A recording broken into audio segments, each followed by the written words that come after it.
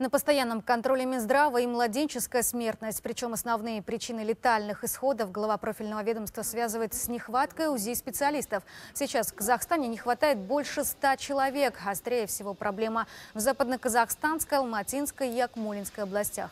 По словам Ажар Геният, именно пороки развития, которые не выявляют вовремя, составляют большую часть печальной статистики.